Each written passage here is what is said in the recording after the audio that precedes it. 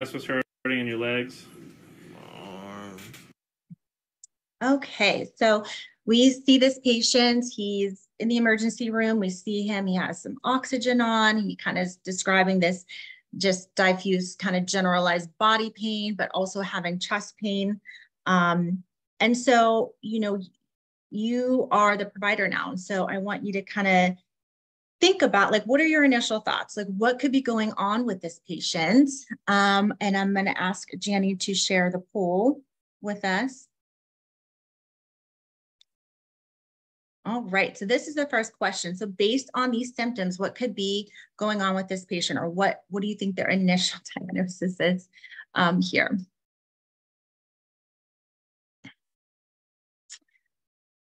Just wait for everybody to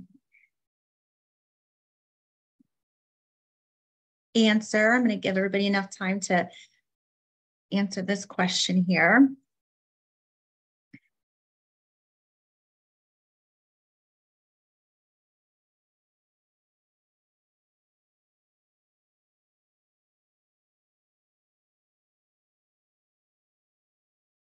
I see around 70 people have answered. I have 93 participants, 75%. I'm gonna just get it a, a few more seconds here so everybody can um, participate here with us.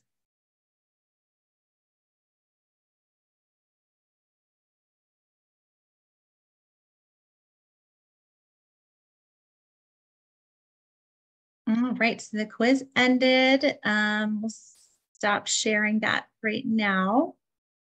Um, I'm not going to show you the correct answers just yet. All right.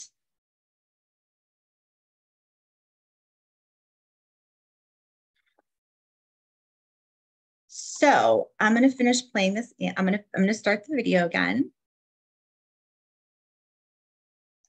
Was this typical of your usual sickle cell pain? Yes. Is it any worse or different? No, about the same. Okay, but you did have some chest pain? Yes. Have you been coughing at all? A little, but not so much. Yeah. How about your breathing? Are you short of breath or anything like that? Yes. You are short of breath? Yes. How long has that been going on? For like two to three days. Okay. And any fevers at all? Yes. You have had fever? Yes. At home, did you measure it? Do you know how high it was? 102. Okay, so I'm going to stop right there. I just want to share with you guys um, differential diagnosis. As I know we, we, we did the poll and I didn't want to give you the answer yet, but I think we kind of know what's going on with this patient right now, that he has sickle cell um, disease and um, so these are the differential diagnoses. So this is some of the things that as a provider you would be thinking about if this was you were taking care of them in the emergency room. So we know he has this history of sickle cell.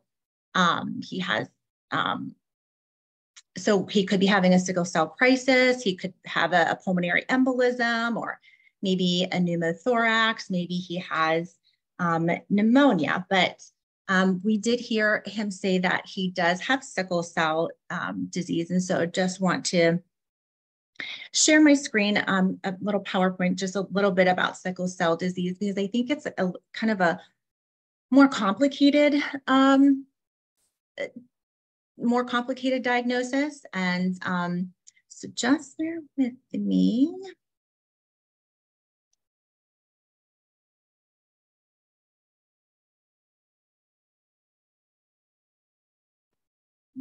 Okay. So we all should be seeing my PowerPoint now. Is that what you see on this screen? Yes. Mm -hmm. Okay, awesome. All right. So sickle cell disease. So this is a group of inherited red blood cell disorders. Um, and we know that red blood cells contain, uh, contain hemoglobin, which is a protein that carries oxygen um, through the body. So Healthy red blood cells are round, as you can see here um, in this picture um, right here on the right. This is a healthy red blood cell. It's round, it's kind of concave in the middle. And the difference between the two is you can see the shape. So people that have sickle cell disease, their red blood cells are shaped like this. It's sickle shaped, um, sickle referring to a C-shaped farm pool called a sickle. Um, but uh, so when these red blood cells travel through the small vessels, they can get stuck in clogged blood flow. Um, and that can cause severe pain. So we know our patient has just like diffuse um, generalized body pain everywhere, chest pain. Um, but it can cause um, serious complications as well, that, and that includes infection or acute chest syndrome and stroke. So um, in addition, it's important to know that these, these sickle cells here, um, these, they also die earlier. So that can cause a constant shortage of red blood cells in people that have sickle cell disease. So um, the, the average lifespan of a red blood cell is like 90 to 100 days, but somebody with sickle cell, these sickle cells here, their lifespan um, is somewhere between um, 20 to 30 days. So, and then I'm going to show you here. I think this is a nice kind of picture that will shows you a nice idea of how it really does look. So here on the left, this is a normal blood vessel with normal red blood cells and they move freely through the blood vessels. And here on the right is this uh, patient that has sickle cell anemia. These are their blood, um, blood vessels and their sickle cells. See, they are more rigid and easily aggregated that can cause block, can block smaller blood vessels right there. All right.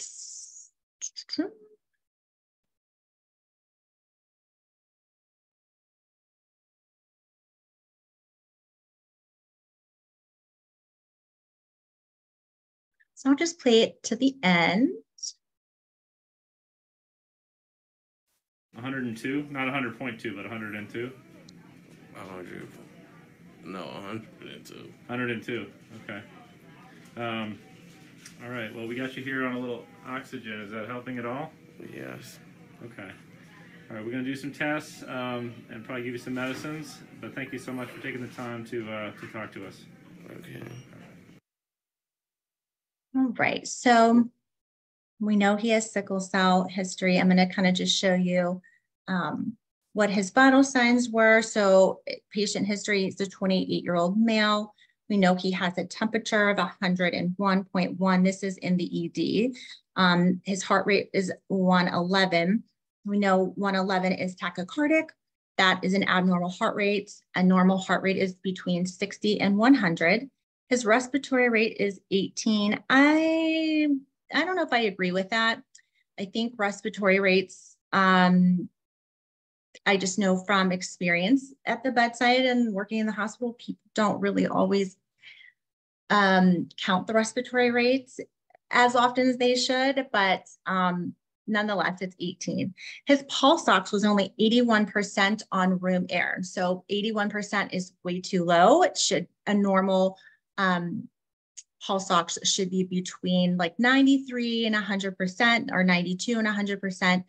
Um, and so that's why they put him on that nasal cannula or that oxygen. And his blood pressure here is 127 over 76. And that might be just a little elevated, but that's that could be, you know, normal for him, that blood pressure right there. Um, right, so I want you guys to think about this now. So now this is your patient. We have his vital signs. We kind of have a history of what's happening with him. Um, so I want you to place in, um, just kind of start placing in the chat, like what are you going to do? What kind of like workup are we going to do for this patient? Because he has this history of sickle cell, but we don't really know for sure if this is what's happening with him. It could be, it could be any one of these differential diagnoses as well. So what are you guys going to do for him? Go ahead and just place it in the chat. Like what, what are we going to do?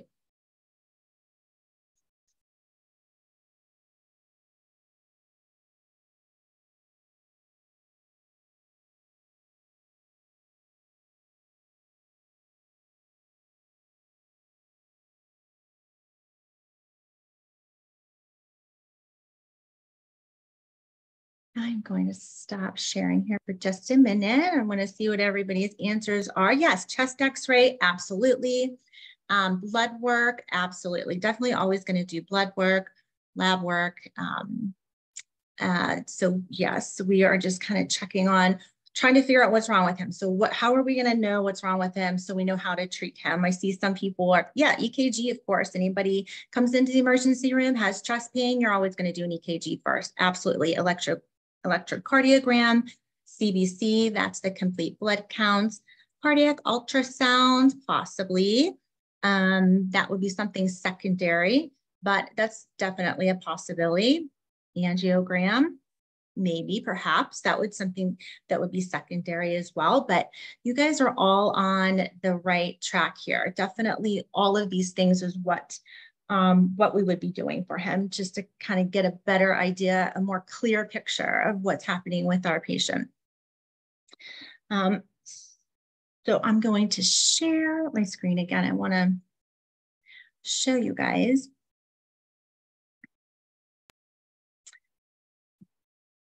What they did.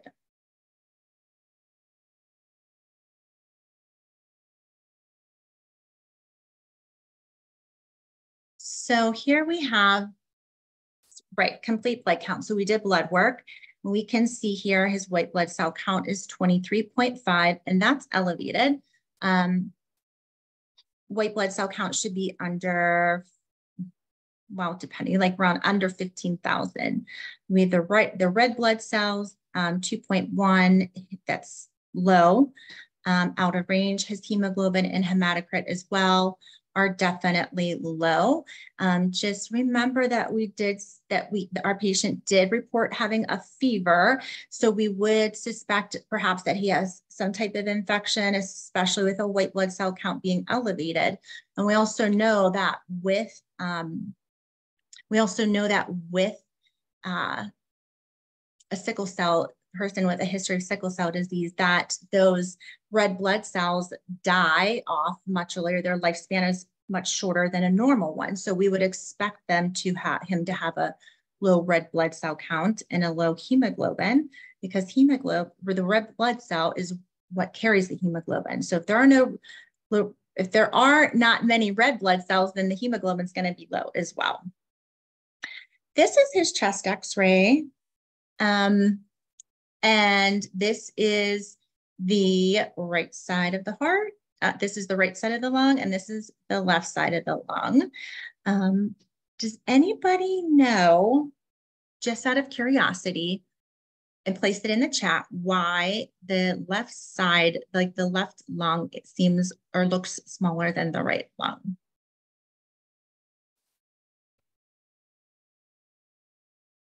Go ahead and place that in the chat. Why do you think that is? Yeah, say like where you guys are going with this. If you said because of the heart, the heart is on the left side of the thoracic cavity. And so yes, um, that is why, because there it's making room for the heart. And so the right lung has three lobes and the left lung has two. So that is why. You guys are all really smart. Yes, only two lobes. Perfect.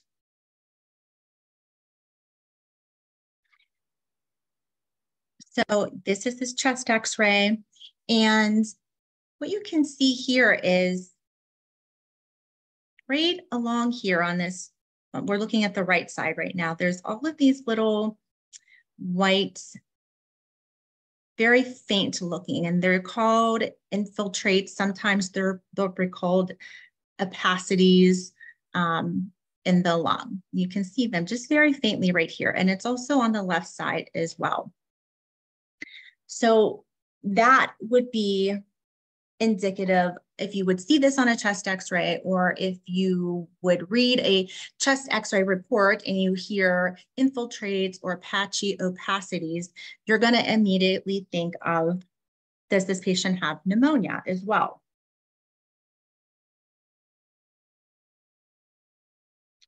Great.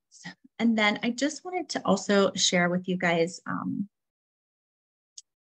just what the normal weight, like normal um, a normal blood should look like if I can find it.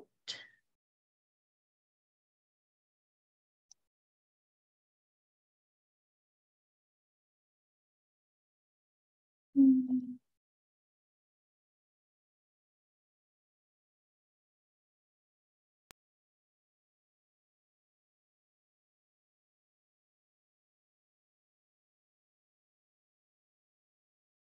Okay, that's okay. I was going to show you guys a graph or a chart, I should say, of what normal, a normal, the norms for those that the complete blood count was so you get a better idea. But um, we at least we know that his blood work is abnormal and that is the most important thing here.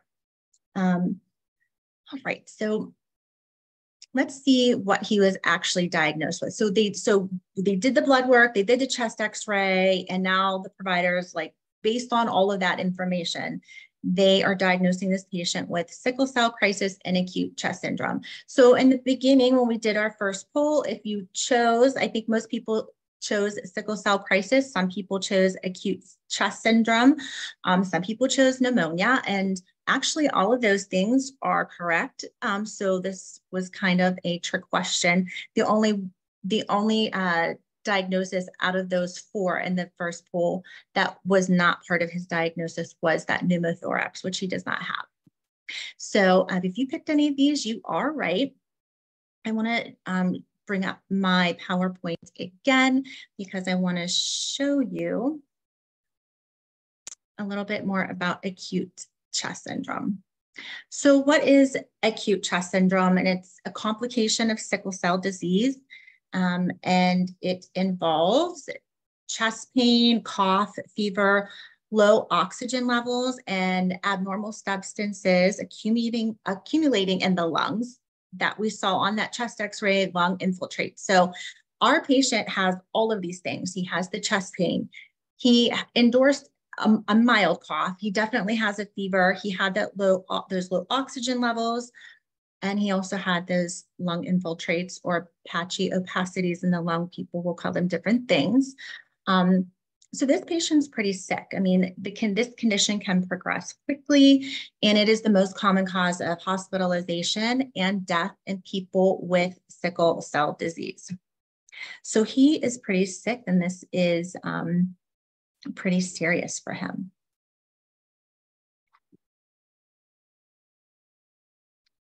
Then moving along, so what causes this acute chest syndrome? So I think that this, the scientists aren't entirely sure, um, but it can be any number, it can be any one or all of these factors. Um, bone marrow necrosis, um, and we know that, that bone marrow is spongy tissue inside most of our bones. And if bone marrow dies, um, those particles can travel into your blood and circulate and those particles can reach your lungs and that may contribute to acute, acute chest syndrome. A fat embolism, bone marrow necrosis again can cause a fat embolism and this um, is when a piece of that fat gets stuck in the blood vessel and blocks blood flow. Um, infection, so infections such as viral or bacterial pneumonia can cause acute chest syndrome. And then in children, just infection. I'm sorry that turned down. Um, so may cause, uh, in adults, this complication is often caused by fat embolism. Um, but in children, infection is the most common cause of acute chest syndrome. And that's with children that have um, sickle cell disease. And I guess that makes sense because I feel like kids and children are sick a lot. I mean, going to school and daycare, um, they are around germs a whole lot. So that makes um, a lot of sense to me there. Um, so now I want to know, we know all of these things now. So we know he has this acute chest syndrome. He has, um, that we know he's in this sickle cell crisis. So what are we going to do for him? You're the provider. So how are we going to treat him? And I want you guys to place all of your answers in the chat and we'll talk about them. But how are we going to treat this patient and how are we going to get him better?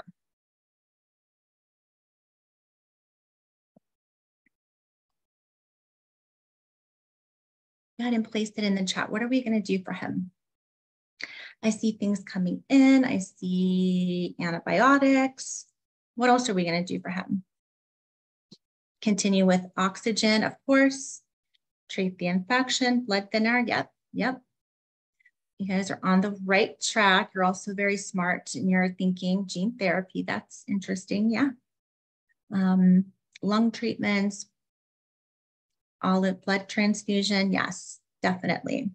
You guys are on the right track. I like how you're thinking. Awesome. Yes, I think we're all on the right track here. Bronchodilator. Yes, that would be helpful as well. Of course, anybody that is having uh, difficulty breathing or has pneumonia, bronchodilator might help them as well. Perfect. All right.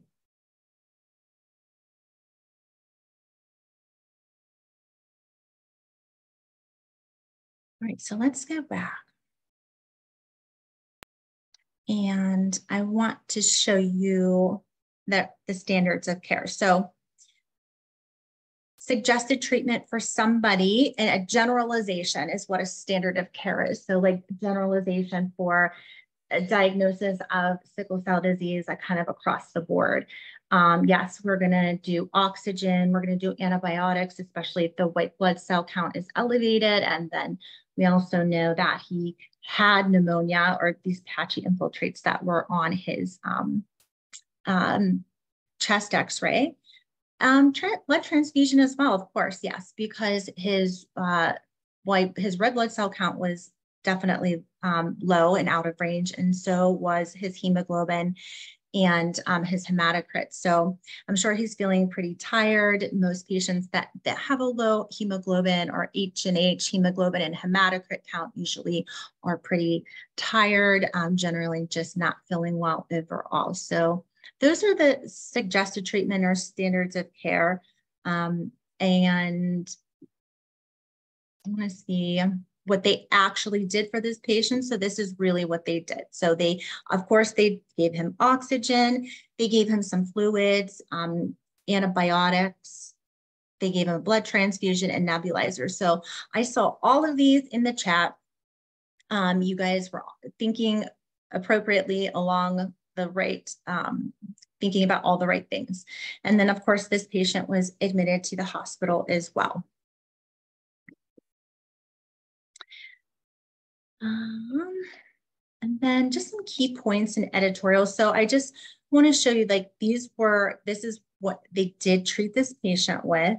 Um, but some things to remember is that something to remember that's important is every patient is different, even though they might have the same diagnosis, whatever that diagnosis is, they um, there can be um, some variables in there and usually they there are. So um, just want to point that out as well that this patient we know had a prior history. Um, he also was had been diagnosed with asthma in the past. Um, he presented with pain that was typical of his sickle cell crisis um, but he also had this fever he had the hypoxia um, which is a low oxygen saturation, rhonchorous breath sounds. So we weren't able to actually hear or see that, but using a stethoscope, if you were going to auscultate and you would listen to the lungs, and you would always listen to the lungs of somebody who is complaining of chest pain or shortness of breath, you would hear rhonchorous uh, breath sounds. He had those infiltrates on his chest x-ray. So um, something to keep in mind is that it a chest x-ray should be performed on all patients with this sickle cell history, with the fever, with chest pain, with the decreased oxygen saturation, and any type of respiratory symptoms. Um, and again, we know that he was treated with oxygen, fluids, broad spectrum antibiotics for pneumonia. Um, and that is because they don't know exactly what type of bacteria is causing the pneumonia. So they're going to, and they would only know that if they were able to do a culture and um, test the, the antibiotic sensitivity. So that can take a couple of days. So that's why um, they're just going to treat him right away with something a broad, what they call a broad spectrum antibiotic, kind of is going to kind of cover anything. Um, and then they did the blood transfusion and then a hematology consult anytime um, somebody has a history of any type of blood disorder um, and sickle cell disease is a blood disorder, we're always going to do um, a hematology consult. So the specialist can come down and take a look at them, and, and um, that's who we really want treating them and seeing them anyways is the specialist. Um, and just as we said before, that acute chest syndrome is an emergency with a relatively high mortality rate. So um, it needs to be recognized quickly and treated promptly as well. Hmm.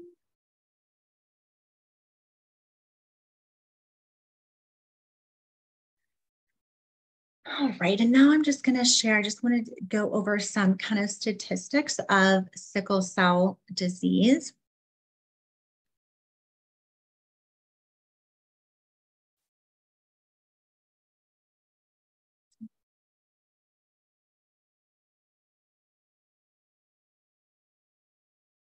So some statistics here that we can see. Um, so for a child to have sickle cell anemia, both parents, parents must carry one copy of the sickle cell gene and pass both copies to the child. And this is confirmed by a blood test. So um, in the United States, sickle cell anemia most commonly affects people of African, Mediterranean, and Middle Eastern descent.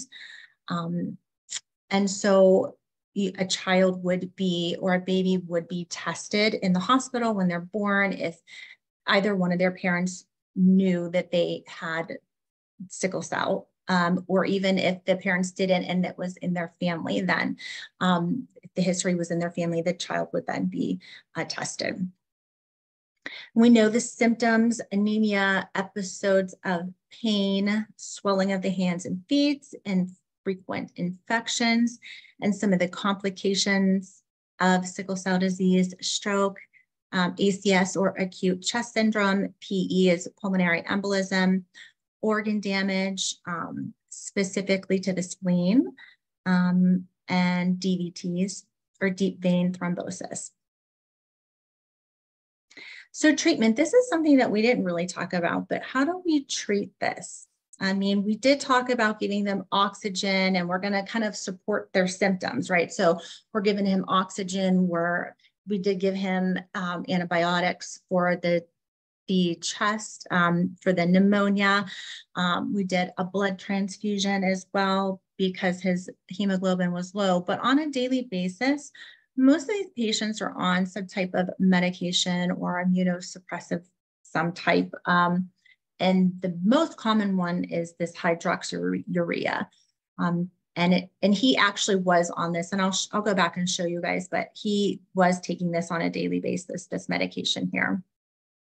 I did see somebody put in uh, the chat when we were talking about how would we treat this. Somebody put in their gene therapy, and I don't have this on here as a treatment, but yes, gene therapy is that kind of a new treatment that they've come up with um, for um, for sickle cell disease, but also a stem cell transplant would is more common than the gene therapy for sure. And unfortunately, the estimated life expectancy of those with sickle cell disease in the US is more than 20 years shorter than the average um, expected life, the 20 years shorter than the average. So um, that is not hard to believe considering um, everything that um, these patients go through.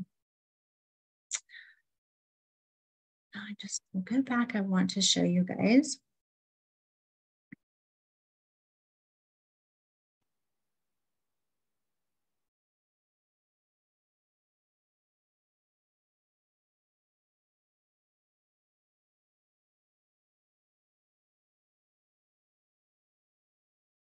I'm just looking for where it's he was on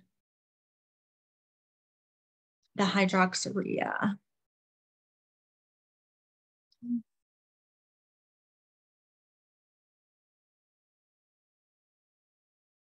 right here. So we can see in his history that he does use albuterol.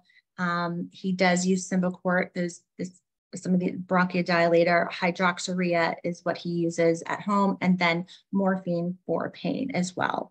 Um, a lot of times these patients are they they are on chronic uh, pain medications because this um, is so painful for them on a daily basis. So, all right.